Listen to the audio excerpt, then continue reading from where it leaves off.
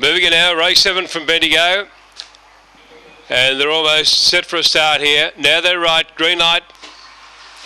Set now. About to go. Ready. Racing Paddock Station slow very poorly out there. Oops, and also Ivy Lane.